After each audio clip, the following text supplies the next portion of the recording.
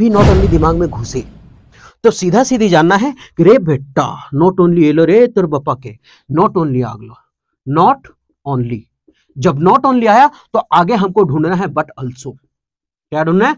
But also तीनों के नाम के पहले जैसे मंडे ऑन मंडे जैसे संडे ऑन संडे अभी हम पढ़ेंगे, ये क्या बोलते हैं? एरर क्वेश्चन ठीक है?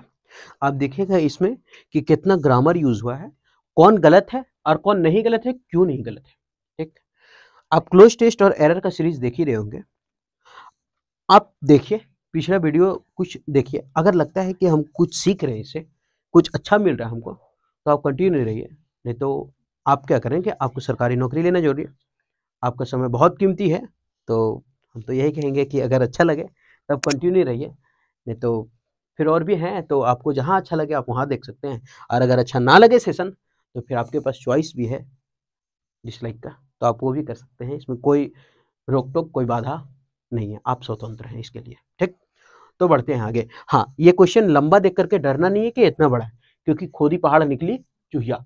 मतलब है खाली लंबा, लेकिन क्वेश्चन का आंसर वही है जो ग्रामर एकदम छोटा सा आंसर है ठीक है? और ये, ये आज का जो सेशन है आज का जो क्वेश्चन है वो 22 और 23 तेईस में खास करके तेईस में ज़्यादातर जो पूछा गया है अबर तेईस का एलडीसी में जो पूछा गया ना वो क्वेश्चन ज़्यादा है ठीक है? इसलिए आजकल के क्वेश्चन बहुत लंबा लंबा पूछता है लेकिन होता कुछ नहीं है बस आसान सा क्वेश्चन दिया हुआ आंसर आसान होता है उसका ठीक? तो आगे बढ़े चलिए बढ़ते द पब्लिक वर्क अब ये जो द पब्लिक है ये क्या है? द हमारा है डिटर्मिनर द हमारा क्या है? डिटर्मिनर डिटर्मिनर का मतलब होता है कि ये जो डिटर्मिनर मतलब वो आर्टिकल अगर ना समझे तो डिटर्मिनर मतलब क्या होता है? आर्टिकल बंटी देखो यहाँ आ रहा है। नीचे तक। हाँ, हाँ, हाँ, तो डिटर्मिनर होता है आर्टिकल मतलब ए एन और द. ठीक? तो ये आर्टिकल है हमारा। डिटर्मिनर है। अगर इसके बाद जो कि एक वर्ड है तो इसका मतलब वो नाउन होता है। तो इसके बाद कितना वर्ड है दा के बाद? तो दा के बाद एक ही तो वर्ड है, और जब एक वर्ड है तो इसका मतलब क्या है? नाउन है। ठीक? अब सवाल कि एक वर्ड है तो नाउन है, अगर दो वर्ड रहे तब तो कोई दिक्कत नहीं है। अगर दो वर्ड रहे ना तो पहला एडजेक्टिव है और दूसरा नाउन है। और जो कि तीन वर्ड रहे तब क्या करेंगे? तो पहला हमारा एडवर्ब होता है, दूसरा हमारा एडजेक्टिव होता है, और तीसरा नाउन होता है। पहचानना बहुत आसान होता है। नाउन क्या होता है? जिसको हम प्लूरल बना सकते हैं, वो हमारा नाउन है। एडजेक्टिव क्या है? जो कैसा कैसी का जवाब दे दे। वो हमारा एडजेक्टिव है। जैसे O U S ending word भी एडजेक्टिव होता है। F U L ending word भी एडजेक्टिव होता है, अधिकतर का बात कर रहे हैं। और I C ending word adjective होता है अधिकतर। ए एल एंडिंग वर्ड अधिकतर एडजेक्टिव हुआ करता है। और नहीं तो ऐसे समझते हैं, जो कैसा कैसी का जवाब दे दे, वो हमारा एडजेक्टिव है। जैसे, वो बहुत करिया है, वो बहुत काला है, कैसा है, काला है तो जवाब कैसा का, कौन दिया? काला। तो ये जो ब्लैक है हमारा, वो एडजेक्टिव है।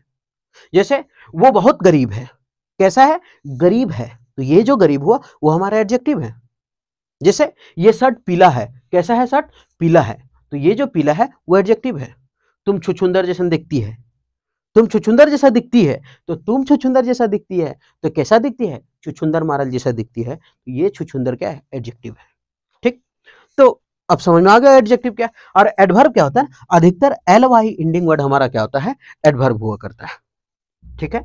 तो अब समझ में आ गया। ये हमारा है इनडिफिनिट आर्टिकल अनिश्चित आर्टिकल और ये है हमारा डिफिनिट आर्टिकल निश्चित आर्टिकल ठीक? इस जब संख्या का पता ना हो तो ए एन और जब संख्या का पता हो तब दा। ठीक? आगे बढ़ते हैं।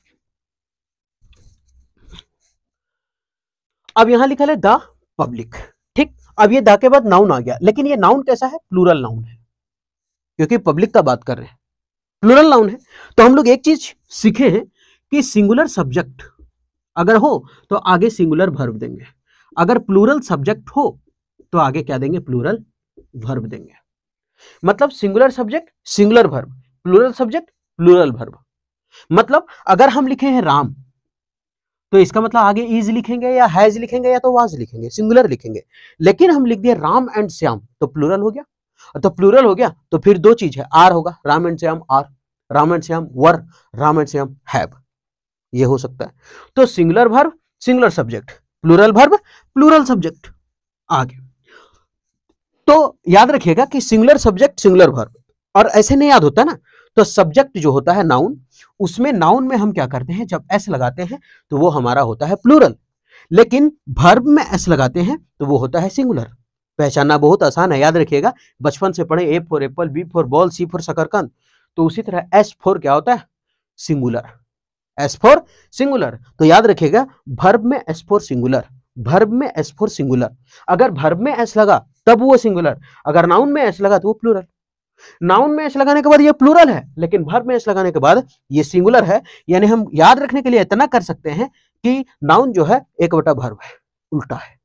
अब याद हो जाएगा ना, अपन सरकारी जुगाड़ा है हमारा. ये मेरा सरकारी जुगाड़ा याद रखने के लिए, ठीक? आगे बढ़ते हैं। अब यहाँ लिखा है द पब्लिक अब पब्लिक तो पब्लिक तो बहुत सारा। और पब्लिक है तो पब्लिक हमारा क्या है? प्लूरल जब प्लूरल है तो आगे भर्ब है, और भर्ब भी हमारा क्या चाहिए? प्लूरल फॉर्म में चाहिए। तो ये प्लूरल फॉर्म में हो गया। क्यों? क्योंकि भर्ब में ऐसा लगता है, तब तो सिंगुलर होता है। तो ऐसा नहीं है, इसका मतलब ये प्लूरल है। अभी तक सही है। तो वर्क डिपार्टमेंट यहाँ डिपार्टमेंट का नाम दिया है। कि द पब्लिक वर्क डिपार्टमेंट अब यहाँ था प्लूरल यहाँ भी हो गया प्लूरल भर्ब देखते हैं आगे क्या गलत अभी तक सही है? अभी तक गलत हुआ? नहीं ना। तो अभी तक यहाँ सही है। डिपार्टमेंट के बारे में बताया है कि the public work department the public work department अच्छा एक मिनट सॉरी यहाँ भर्व नहीं है, लेकिन फिर भी आगे आने वाला भर्व प्लूरल होगा। यहाँ बता रहा है कि पब्लिक वर्क डिपार्टमेंट का बारे में बात हो रहा है। Public work department public work department का, ठीक है? ये प्लूरल है तो कोई दिक्कत नहीं, यहाँ भर्व का प्रयोग नहीं हुआ भर्व यहाँ प्रयोग हुआ क्योंकि हम आगे देखे नहीं वर्क को समझ लिए भर्व यहाँ डिपार्ट वर्क डिपार्टमेंट के बारे में बोला, ये हमारा हो गया, यहाँ भर्व हो गया, ठीक? तो एक मिनट अब ये जो पब्लिक वर्क डिपार्टमेंट अब तो ये सिंगुलर हो गया, क्योंकि हम केवल द पब्लिक ले रहे थे, अगर हम ऐसे ही समझे कि अगर इसको हम मिटा दें, यहाँ तक कर अगर हम मिटा दें, तब यहाँ तक सही हो जाएगा द पब्लिक वर्क लेकिन अगर इसको मिटा दें, तब आगे पर हमको पता चला, पढ़ने से आगे पता चला कि नहीं, ये पूरा का पूरा एक है पब्लिक वर्क डिपार्टमेंट है, और ये पब्लिक वर्क डिपार्टमेंट मेरा क्या है? सिंगुलर है। ये पब्लिक वर्क डिपार्टमेंट क्या है हमारा? सिंगुलर है। और जब अभी बोले कि singular subject singular verb plural subject plural verb अब ये तो हमारा पब्लिक वर्क डिपार्टमेंट है कोई। निश्चित डिपार्टमेंट तो सिंगुलर है, क्योंकि अगर प्लूरल होता तो यहाँ होता डिपार्टमेंट्स तब ये प्लूरल होता। ठीक? लेकिन यहाँ सिंगुलर लिखा हुआ है तो आगे वर्ब भी हमारा क्या है? सिंगुलर है हैज़ क्योंकि एस फॉर सिंगुलर तो वर्ब में एस लगा तो हैज़ तो सिंगुलर ठीक? आगे जब सिंगुलर है तो यहाँ लिखा हैज़ प्रपोज अब गलती मिला। क्या मिला गलती? कि एक होता है एच और एच के साथ हमेशा वर्ब का तीसरा फॉर्म प्रयोग होता है। एच के साथ क्या होता है? वर्ब का तीसरा फॉर्म प्रयोग होता है। तो कौन कौन होता है? हैव हैज़ हैड ये जो तीनों है, ये तीनों के साथ वर्ब का थ्री फॉर्म प्रयोग होता है, लेकिन हैज़ के बाद थ्री फॉर्म नहीं लिखा है। हैज़ के बाद कौन सा फॉर्म लिखा हुआ? है पहला फॉर्म लिखा हुआ है जो कि गलत है। तो ये प्रपोज को क्या करना पड़ेगा? इसमें ईडी लगाना पड़ेगा। प्रपोज्ड मतलब ई लिखा हुआ है, खाली डी लगाना पड़ेगा। प्रपोज्ड अब समझ में आ गया? तो पहले अगर हम बता रहे थे तो हम यही तक पढ़े थे द पब्लिक वर्क हो सके, आगे नहीं देखे। तो द पब्लिक वर्क डिपार्टमेंट यहाँ पूरा हो जाएगा सब्जेक्ट ठीक? लेकिन अगर ये इसको हटा दे तब बोलेगा तब तब तो पब्लिक ठीक है वर्क भी ठीक है। लेकिन यहाँ पब्लिक और डिपार्टमेंट का बात है, इसलिए सिंगुलर है तो आगे सिंगुलर देंगे। अगर डिपार्टमेंट्स होता, तब ये प्लूरल होता, हम पूरा पढ़े नहीं थे, इसलिए गड़बड़ा गए ठीक? तो माफ़ी चाहते हैं, आगे बढ़ते हैं। अब ये तो गलत हो गया, अब देखते हैं कि आगे क्यों नहीं गलत है। यहाँ लिखा हुआ है टू टू हमारा क्या है? टू हमेशा अपने साथ भर्व का पहला फॉर्म लेता है। टू हमेशा अपने साथ क्या लेता है? भर्व का पहला फॉर्म लेता है। और अगर जो कि टू के बाद अगर बी हुआ तो भर्व का तीसरा फॉर्म तो टू के बाद भर्व वन और टू के बाद बी रहा तो भर्व का तीसरा फॉर्म लेकिन ये हमको कहेगा कि आप एक्टिव वॉइस में है और ये कहेगा कि आप मस्त चुचुंदर जैसा बैठ के पेसिव वॉइस में है। ठीक? तो ये एक्टिव में है, ये पेसिव में है। लेकिन अब यहाँ तो सेंटेंस एक्टिव में ही है। दोबारा तो कहीं कुछ बात नहीं किया गया तो एक्टिव में है। तो टू के बाद यहाँ कंस्ट्रक्ट वर्बन है। इसका मतलब यहाँ सही है, कोई गलत नहीं है। आगे एन एन हमारा क्या? फिर से डिटर्मिनर यानी कि आर्टिकल और एन इलेवेटेड कॉरिडोर अब यहाँ दो वर्ड आ गया तो आप लोग सोचिए कि पापा, दो वर्ड आ गया। और दो वर्ड आ गया तो क्या ये नाउन है? क्योंकि बोले थे, अगर दो वर्ड आ गया तो लास्ट वाला नाउन है और पहला एडजेक्टिव है। तो हाँ है, ठीक? तो ये एडजेक्टिव और ये नाउन है। अभी तक कोई दिक्कत नहीं है कि एन के बाद एडजेक्टिव और ये नाउन आया है तो इलिवेटेड कॉरिडोर ये सही है, गलत नहीं है। विच विल रन अब विल हमारा क्या है? अब विच तो हमारे रिलेटिव प्रोनाउन है। ठीक तो विच जोड़ने का काम कर दिया। अब यहाँ विल क्या है? मॉडल और मॉडल के बाद आने वाला भर्व का कैसा फॉर्म होता है? भर्व का पहला फॉर्म होता है। तो एक्टिव वॉइस में, लेकिन अगर मॉडल के बाद बी लग गया तो फिर भर्व का तीसरा फॉर्म आएगा तो ये पेसिव वॉइस में। मॉडल के बाद भर्व वन आता है, और मॉडल के बाद बी आ गया तो भर्व का तीसरा फॉर्म आता है। तो यहाँ लिखा है मॉडल रन तो इसका मतलब ये सही है, यहाँ कोई गलती नहीं है विल रन पैरल समांतर चल रही, चलेगा। ठीक? अब किसके लिए? To the national highway. किसके लिए चलेगा? नेशनल हाईवे के लिए। अब फिर दा हमारा क्या है? डिटर्मिनर है। और जब दा डिटर्मिनर है, आर्टिकल है तो उसके बाद फिर से दो वर्ड आ गया। तो इसका मतलब ये नाउन है और ये हमारा एडजेक्टिव है। इसका मतलब अभी तक सब सही था, कोई गलती नहीं था। कहाँ गलती था? तो हैज़ के साथ प्रपोज है। ठीक? तो ये पहला समझ में आ गया होगा। आगे बढ़ते हैं। उसके बाद है different coloured natural foods not only यहाँ लिखा है डिफरेंट कलर्ड अलग अलग कलर डिफरेंट तो ठीक है डिफरेंट कलर है, इसमें क्या गलती करें? कुछ नहीं गलती करेंगे। नेचुरल फूड्स का बात किया प्राकृतिक जो फ़ूड है, उसका बात किया जब भी अगर आ गया है यहाँ कोई गलती नहीं है। डिफरेंट कलर नेचुरल फूड्स यहाँ तक तो खाली एक ही चीज़ लिखा हुआ है। ठीक है? तो यहाँ कोई गलती नहीं है, कोई है। ना भर्व का हमको पहचानने मिल रहा है, ना हमको कुछ पहचानने मिल रहा है। तो different colour natural foods simple एक वर्ड है, हो गया सही। नॉट ओनली जब भी नॉट ओनली दिमाग में घुसे तो सीधा सीधी जानना है कि रे बेटा नॉट ओनली एलो रे तुर बपा के नॉट ओनली आगलो नॉट ओनली जब नॉट ओनली आया तो आगे हमको ढूंढना है बट अल्सो क्या ढूंढना है? बट अल्सो और जो कि अगर नाइदर आएगा ना, और लिख देते हैं। अगर नाइदर आया तो ढूंढना है नॉर अगर जो कि आइदर आया, अगर आइदर आया तो ढूंढना है और अगर सो आया तो ढूंढना है दैट अगर वेदर आया, वेदर तो ढूंढना है और। वेदर और, आइदर और, neither nor not only but also so that अगर ये वर्ड है ना तो हमको रिलेशन ढूंढना है। अगर नॉट ओनली क्वेश्चन में देखें, ढूंढ इसकी बाप का आँखें बट ऑल्सो मिलता कहीं कहीं ज़रूर मिलता और नाइदर मिला, नॉर ढूंढ रहे, कहाँ गली रहे? आइदर आया, और ढूंढ रहे। और वेदर आया, और ढूँढने पे कहा होने जा रही? सो दैट सो आया है तो दैट हो देख तो नहीं है तो गलत करने पे। ऐसा, ठीक है? आगे। तो नॉट आया है तो क्या ढूंढना आगे? बट ऑल्सो ढूंढना है। तो not only put a smile not only put a smile अब आप फिर से डिटरमिन स्माइल हमारा नाउन हो जाएगा। ऑन ऑन क्या है? प्रीपोजिशन याद रखिएगा प्रीपोजिशन के बाद आने वाला भर्व कैसा होता है? भर्व का चौथा फॉर्म होता है। ठीक? लेकिन अगर प्रीपोजिशन के बाद भर्व नहीं आया तो ठीक है, आगे कोई नॉन होगा, आगे कोई प्रोनाउन होगा, आगे कोई ऑब्जेक्ट होगा। कुछ तो होगा, कुछ तो होगा। आगे। तो यहाँ ठीक है, यहाँ लिखा है कहा गया? ऑन प्रीपोजिशन है। नहीं है तो ठीक है। चिल्ड्रंस नाउन तो है। चिल्ड्रंस फेस बच्चे के चेहरे, बच्चों का चेहरा। अब बोले, जब नॉट ओनली था तो बट ऑल्सो ढूंढना था रे, फेटा मिल लो एंड ऑल्सो होता है क्या? नहीं, अभी बोले नॉट ओनली बट ऑल्सो तो यहाँ होगा बट अब होगा ऑल्सो तब समझ में आ गया, गलती कहाँ मिला? तो but also benefit their overall growth इसका पूरे ग्रोथ का। अब देयर किसके लिए? बच्चा के लिए, बच्चा प्लूरल है चिल्ड्रंस ठीक है? तो इसलिए है। तो ओवरऑल ग्रोथ तो अब यहाँ समझ में आया कि यहाँ गलती था। यहाँ कोई गलती नहीं था। नॉट ओनली सही है, आगे हमको बट ऑल्सो ढूंढना है। तो पुट है, आठ सही है डिटर्मिनर है। उसके बाद एक नाउ क्या बोलते हैं नाउन आया है। ऑन हमारा प्रीपोजिशन है उसके बाद कोई ऑब्जेक्ट चाहिए, नहीं है तो कोई नाउन चाहिए तो है चिल्ड्रन स्पेस यहाँ कोई गलती नहीं है तो समझ में आ गया नॉट ओनली के बाद हमको क्या चाहिए बट ऑल्सो चाहिए। तो ये हो गया सेकेंड नंबर समझ में आ रहा है? आगे। द कांस फ़िल्म फेस्टिवल अब ये तो कोई समारोह है ना? द कांस फ़िल्म फेस्टिवल जहाँ हीरो हीरो बुलाया जाता है और दिया जाता है वराज, है ना? ले, लिंग ग्लेशियर पाँच रुपये ला। तो नटराज तू फुसफुसिया पेंसिल तो को काम न खोया। तो द कांस फ़िल्म फेस्टिवल, ये क्या है? सिंगुलर है। ठीक? ये कांस फ़िल्म कहा द कांस फ़िल्म फेस्टिवल, गड़बड़ा आते बोलने में। The Cannes film festival. अब ये जो कांस फ़िल्म फेस्टिवल है, एक क्या है? एक एक तरह से समारोह है। समारोह दुर्गा पूजा इज़ दुर्गा पूजा आर करेंगे क्या? है? Holi is Holi is coming आ रही है। दूनेंग होली तो कोई त्यौहार क्या होता है? कोई समारोह सिंगुलर होता है ना? तो ये पूरा का पूरा क्या? अभी हम बताएँ singular verb singular subject plural verb plural subject तो यहाँ सिंगुलर भर्व तो आगे क्या आना चाहिए? Singular verb singular subject singular verb तो यहाँ सिंगुलर सब्जेक्ट हो गया. क्यों? क्योंकि द कांसफिल फेस्टिवल फेस्टिवल तो एक है. कांसफिल फेस्टिवल जहाँ बुला करके सबको देता है लेमचूस अब यह जब सिंगुलर है तो आगे भी तो सिंगुलर होना चाहिए. हम बोले भर्ब में एस फोर सिंगुलर भर्ब में एस फोर सिंगुलर भर में एस फॉर सिंगुलर तो भर में एस फॉर सिंगुलर ना तो भर में अगर एस लगाएँगे, तब तो वो सिंगुलर होगा, नहीं तो ये प्लूरल था। ये तो गलत हो गया ना। तो इसका मतलब the Cannes film festival attracts क्योंकि ये सिंगुलर तो ये भी सिंगुलर क्योंकि भर में एस फॉर सिंगुलर ठीक है? तो यहाँ क्या होगा? अट्रैक्ट्स इसमें इंक डालो। तो कांस फ़िल्म फेस्टिवल तो यहाँ हो जाएगा अट्रैक्ट्स अब ही ये गलती मिल गया कि यहाँ क्या लगाना पड़ेगा? एस लगाना पड़ेगा। आगे देख लेते हैं।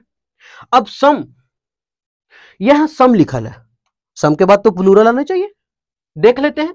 सम ऑफ़ द ठीक है? Some of the world most famous people people क्या है? प्लूरल है ना? वो तो प्लूरल तो यहाँ है सम ऑफ़ द वर्ल्ड्स है ना? दुनिया के most famous people the world most famous people अब थोड़ा सा समझ लेते हैं। और फिर से हमारा प्रिपोजिशन है। अगर भर्व रहता तो आईएनजी देते। नहीं भर्व है तो कोई ऑब्जेक्ट है है?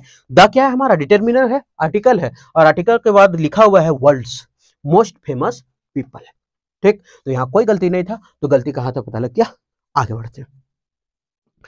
ऑन सेप्टेम्बर ग्यारह, आप याद रखिएगा इस चीज़ को, कि दिनों के नाम के पहले ऑन लगता है। तारीख के नाम के पहले ऑन लगता है। ठीक? का का बोले हम? दिनों के नाम के पहले, जैसे मंडे ऑन मंडे जैसे संडे ऑन संडे कभी कभी होता है सिंस संडे ऐसे शॉर्टकट लिख दीजिए। सिंस संडे होता है कभी कभी ठीक है? कभी कभी क्या होता है? सिंस संडे तो आप याद रखिएगा कि जब भी दिन में को का हिंदी निकले ना, जैसे स्कूल मंडे को खुलेगा, तब ऑन जैसे school will open on Monday school will open on Monday Monday को खुलेगा तो को आ रहा है हिंदी तो ऑन लगाएँगे। School will open on Sunday. बापा, क्लोज। On Sunday. तो इसका क्या ऑन लगेगा। लेकिन अगर निकले ना कि यहाँ से यहाँ तक बंद रहेगा, school will close Sunday Monday तक बंद रहेगा तो सिंस मंडे जब तक हिंदी निकले, तब सिंस लगाना और नहीं तो दिनों के नाम के पहले ऑन लगाना तारीख के नाम के पहले ऑन लगाना है। ठीक है? तो तारीख के नाम के पहले ऑन लगाएँगे तो यहाँ कहा गया? तो यह तारीख है सितंबर ग्यारह तो यहाँ ऑन लगल है। इसका मतलब अभी तक सही है 2001 ठीक है। अभी तक कोई गलत नहीं पहले कौन सी गलत कर दिए ज़बरदस्ती। ठीक है। टू हाईजैक्ड हाईजैक्ड का मतलब होता है कब्जे में कर लेना, है ना? पैसा उसा मांग करता है वो लोग, है ना? उसको कहते हैं हाईजैक एरोप्लेन सब होता है ना? एयरक्राफ्ट हुआ कर दलती ना two hijack aircraft crash to the World Trade Center in New York क्या हुआ है? क्रैश हो गया है। Two hijack aircraft. जो हाईजैक एयरक्राफ्ट था, वो क्या हुआ है? क्रैश हो गया है। किससे जाकर के टकरा गया है? वर्ल्ड ट्रेड सेंटर से। कहाँ पर? इन न्यूयॉर्क में। अब इन है। अच्छा आगे बढ़ते हैं ना, पहले देख लेते हैं टू हाईजैक्ट है ना? Two hijacked aircraft. दो गो हाईजेक्ट एयरक्राफ्ट था, कोई गलती नहीं है। दो गो हाईजेक्ट एयरक्राफ्ट है, उसको बता दिए एयरक्राफ्ट। क्रैश हो गया है। एक बात याद रखिएगा थोड़ा, कि क्रैश टू नहीं होता है। टकराना का जो मीनिंग होता है क्रैश्ड इनटू। आप इसको लिख लीजिएगा, ये फिक्स प्रिपोजिशन है। क्रैश्ड इनटू का मतलब होता है जाके धड़ाम से टकरा जाना, मुँह भरे बजरा जाना। तो टकरा जाना को होता है क्रैश्ड इनटू। क्रैश इंटू का मतलब होता है? टकरा जाना। तो यहाँ हो जाएगा इंटू ठीक? तो यहाँ crash into the World Trade Center, World Trade Centers में। अब ये इन क्या है? तो इन एक होता है प्लेस के लिए दो चीज़ लगता है, एक एट लगता है, ये इन लगता है। इन लगता है बड़ा प्लेस में और ये जो ई e लगता है, ये छोटा प्लेस में लगता है। ठीक? ये छोटा प्लेस में लगता है। एट छोटा प्लेस में लगता है और इन बड़ा प्लेस में लगता है। ठीक? तो यहाँ न्यूयॉर्क है तो कोई छोटा प्लेस थोड़ी है। का हमारे गाँव जैसे दारू, हमारे गाँव का नाम। तो दारू, ये तो इतना बड़ा है न्यूयॉर्क न्यूयॉर्क का नाम जागा जाता है ना, जाना जाता है। तो न्यूयॉर्क है, इसलिए यहाँ इन है एट नहीं है। ठीक है? तो यहाँ तक सही हो अब गलती कहाँ तक पता लग गया? आगे। ये सब अबरी पूछा गया था इसमें। द प्रमोटर्स, प्रमोट करने वाले of Med hospitals medical hospital Med hospitals has agreed to sell their business to Pal hospital Pal hospitals अब आगे पढ़ते हैं कि है क्या। यहाँ क्या लिखा है? The promoters. अब द प्रमोटर्स है ऐसे लगल है तो इसका मतलब ये प्लूरल हो गया। आगे भर भी हमको क्या चाहिए? प्लूरल चाहिए। अब यहाँ लिखा है ऑफ़ मेड हॉस्पिटल्स ये भी प्लूरल है। अब हम करेंगे सलाह सब्जेक्ट तो हमारा प्लूरल है। यहाँ तक कोई गलती है क्या? कुछ नहीं गलती है, ये भी प्लूरल में है, ये भी प्लूरल में है। दोनों बता रहा है कि ये प्रमोटर्स जो है मेडिकल हॉस्पिटल का प्रमोटर्स के बारे में बात कर रहा है। तो यहाँ सही है, यहाँ तो कोई गलती नहीं है। क्या है? अब जब ये प्लूरल है तो आगे आने वाला एस फोर क्या होता है?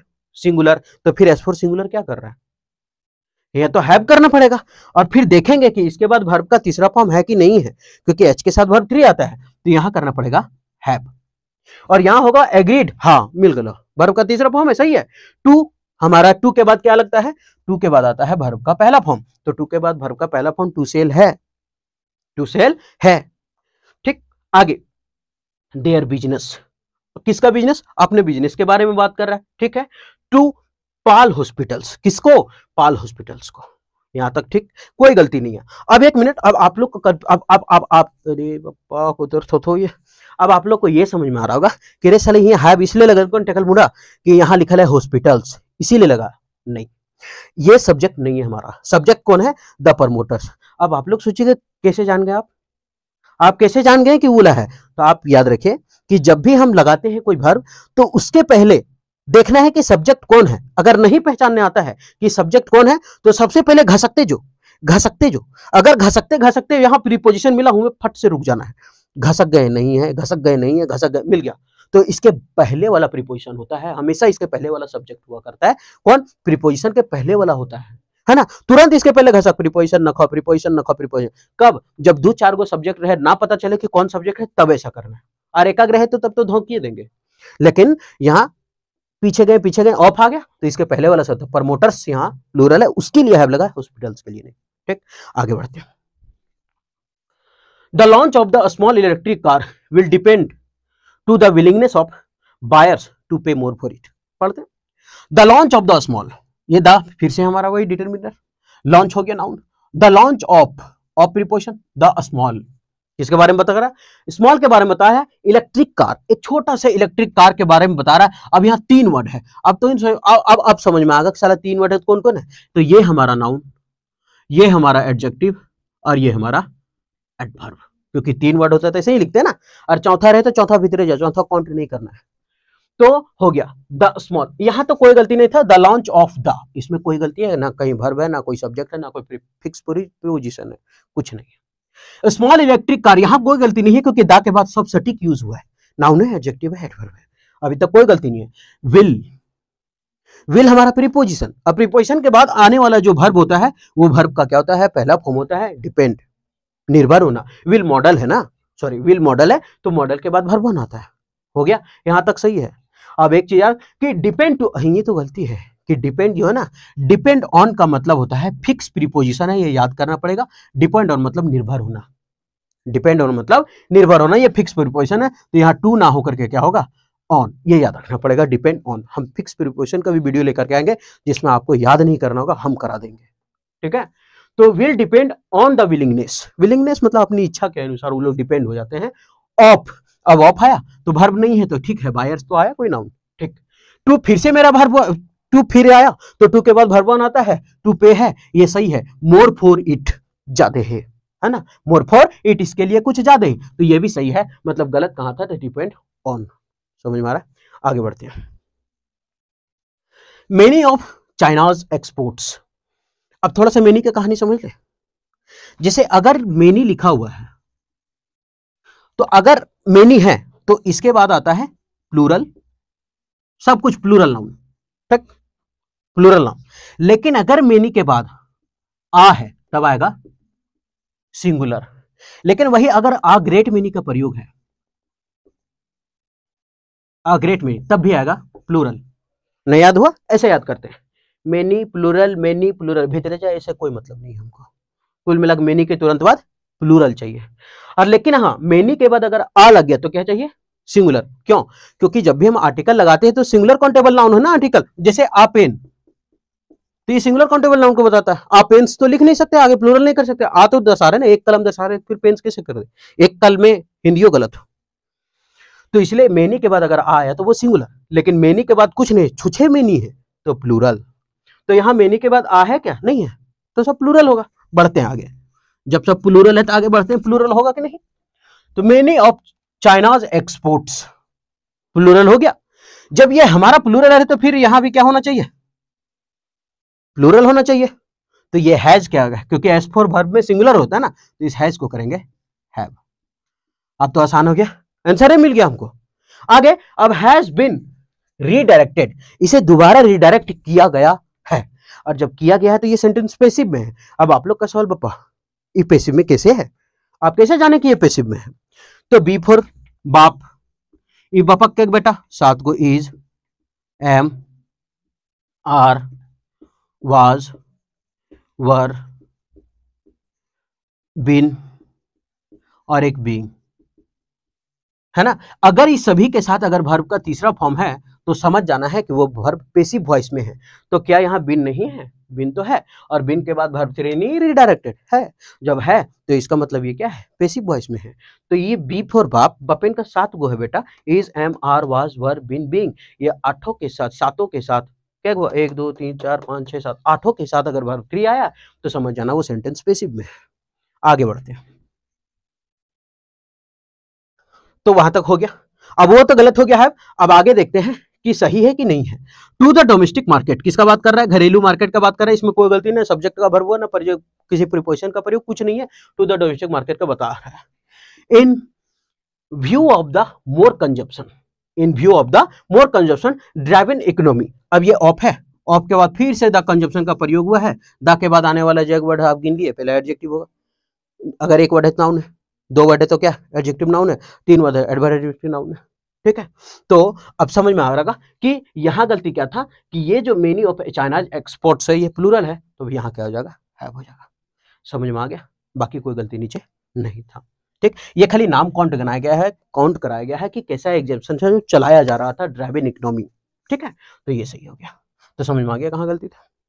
आगे ही कमांडेड मी वो मुझे कमांडेड मी मतलब वो कमांड किया हमको। नहीं बोलता है कि, अरे, तुम कैसा कर रहा है यार? जैसे मेरा बाप है, तू नहीं बोलता कमांड का मतलब होता है हक जताना, है? ए, पानी लान के दे। पानी पानी तो पानी पानी। ए, थोड़ा चूरन दो, गड़बड़ है पेट में। तब वो बोलेगा, कैसा कर रहा है तू? ऐसा कर रहा है जैसे तू मेरा बाप है यार। ऐसा ऑर्डर बाप भी नहीं देता मेरा। तो ही कमांडेड मी वो मुझे कमांडेड किया। क्या? एज इफ़ मानो की।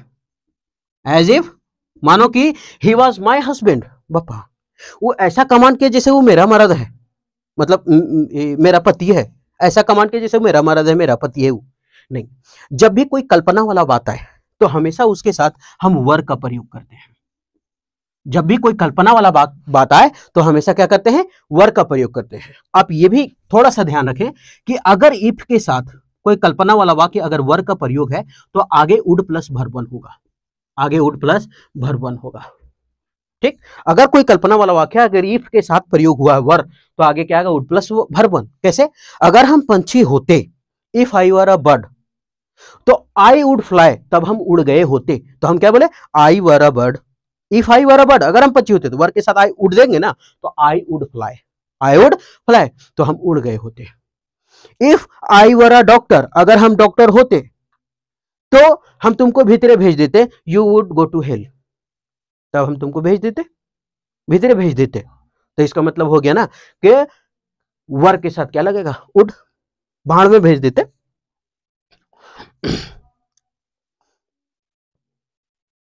तो ये कहानी समझ में आ गया।